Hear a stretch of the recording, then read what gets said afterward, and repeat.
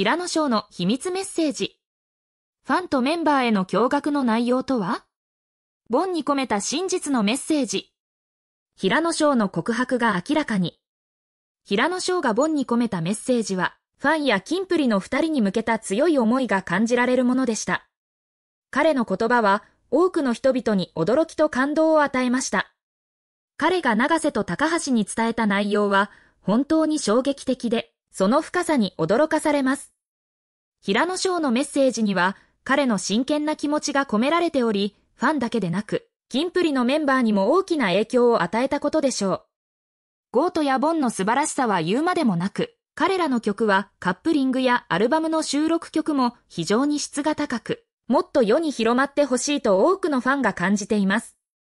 特に今回の No.O -ring- に収録されている曲はメンバーそれぞれがプロデュースしたもので、どの曲も歌詞も本当に優れており、ぜひ多くの人に聴いてもらいたい作品ばかりです。3人がそれぞれバラードをプロデュースしており、そのクオリティの高さには驚かされます。キンプリの2人はアイドルとして、 Number_i の3人はアーティストとして活動しており、早かれ遅かれ別々の道を歩むことが良かったのではないかと考えます。これまでの曲も3人が歌わないと決めて退所したので、私もその曲を聴くのを控えています。これからは3人が新たに発表する曲をたくさん聴いて応援していきたいと思います。もう5人での活動はないと私も感じています。最後の5人での思い出は花火での別れだったのだと思います。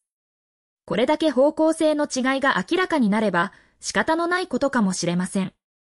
3人は今までできなかった本当の自分をさらけ出すことができ、これからもナンバーアンダーライン愛を応援していきます。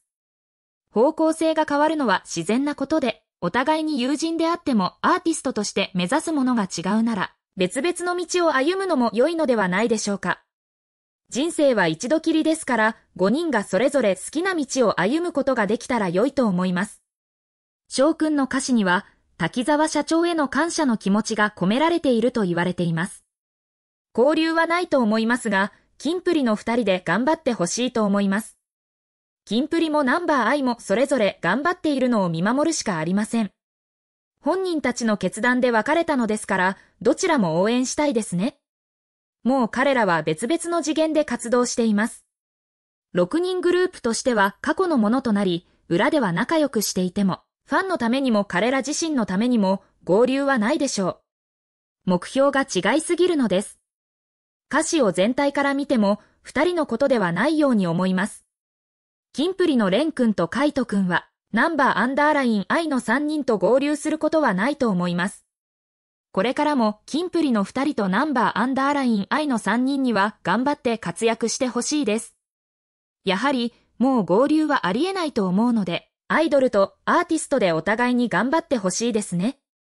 決別という言葉を使うと厳しい感じがしますが、お互いがそれぞれの道を進む中で、共演することは可能ではないでしょうか。敵対する必要はなく、お互いを尊重し合うことが大切だと思います。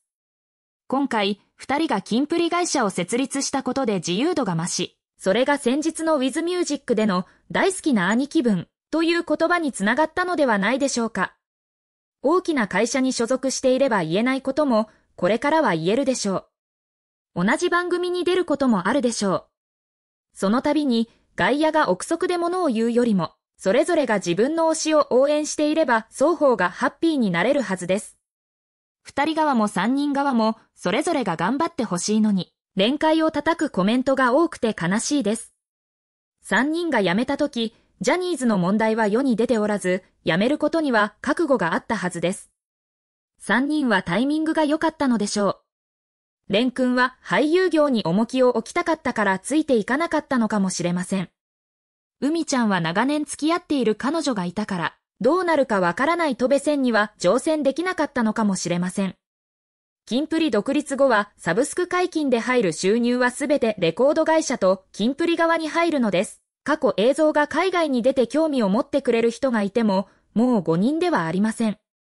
いろいろともやもやしますが、5人になる日が来たら、それはそれで嬉しいですし、合流しないとは言い切れないと思います。そして、合流するもしないも外野がどうこう言うことではないでしょう。三人が脱退して残念な気持ちと、あのわちゃわちゃがもう見れない寂しさがありましたが、今となっては綺麗に3対2に分かれたなと思います。全く別のコンセプトの2組。私は5人で活動していたキンプリを応援していたので、どちらかというと連会組の世界観の方が好みです。このまま行くと思いますし、その方が良いと思います。レン君はダンス中心のナンバーアンダーライン I には来ないと思います。ずっとしんどそうでしたから。アマ君は自分がダンス一番でいられるキンプリの二人の方が望ましいのでしょう。だから、三人と二人のコラボはあっても、合流はないと思います。絶対というものはないので、未来はわかりません。一年前に二人が会社を作って社長になる未来も想像できませんでしたし、3人がアメリカのフェスに参加することも想像できませんでした。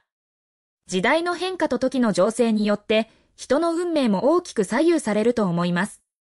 音楽の日で初共演が見れるかもしれません。世間的に期待されているからいつか合流するでしょう。こういった動画を見て思うのは、それぞれを応援すればよいのではないでしょうか。嫌なら無視すればよいだけです。私はキンプリもナンバーアイも好きです。興味がなければ見もしないし聞きもしません。こういった動画を見て思うのは、それぞれを応援してあげればよいのではないでしょうか。嫌なら無視すればよいだけです。私はキンプリも好きですし、ナンバーアイも好きです。興味がなければ見もしないし聞きもしません。で、岩橋くんを忘れていませんか？岩橋くんはソロで活動しているのです。それはそれで良いのですが、岩橋くんもキンプリだったのに対象には入らないのですね。永瀬くんと高橋くんが発表していないのに、 King & Prince 株式会社の設立は本当だと思いますが、誰でも閲覧できるからといって部外者が公に流すのはどうかと思います。二人が発表するまで YouTuber で流さないで欲しかったです。英語歌詞の解釈が間違っています。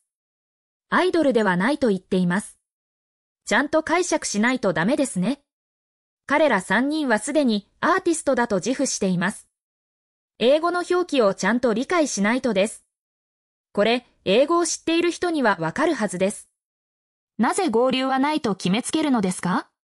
今すぐはなくても、いつかは合流、再結成することも自由にできるのに。いろんな可能性があるのに、 Number_i が King & Prince や二人と決別するとは思えません。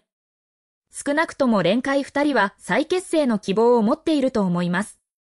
月読みなどは平野くんのものです。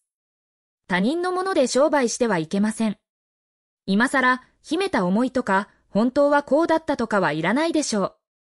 デビューする難しさを見ていながら、自分たちはその少数に入ることができたのに、それを捨ててしまいました。他の人をデビューさせればよかったのに。海外デビューなら他に方法があったように思います。三人のことに納得はしないので、二人のことをいろいろ出さないでそっとしておいてほしいです。連会はただドラマに出て、共演俳優や女優にちやほやされたいだけです。でも、そのためにファンが必要で、そのためにキンプリを手放したくないという感じです。歌も下手で無理しないでください。